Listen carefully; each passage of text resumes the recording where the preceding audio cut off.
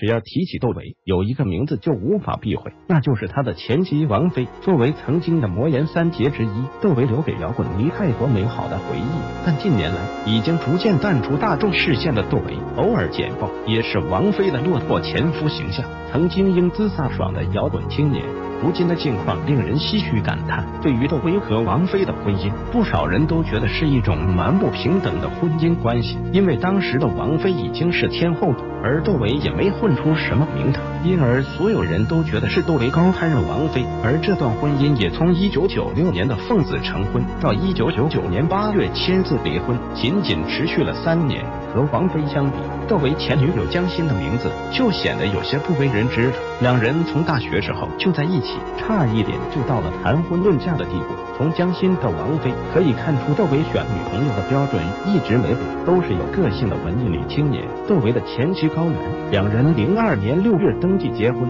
同年八月生下了女儿窦佳苑。但这段婚姻比起王菲那段更短，仅仅维持了两年，两人就离婚了。如今的高原独自养大了女儿，除了做摄影师，还有自己的珠宝品牌，活得更加从容。江心和高原，一个是窦唯的初恋女友，一个是窦唯的前妻。不止工作上合作，生活中也会一起聚聚餐、看看演出，和平常的闺蜜没有什么两样。两个人又都是敢爱敢恨的女子，有共同的爱好、话题和人生观，成为好闺蜜、好朋友也就不出奇了。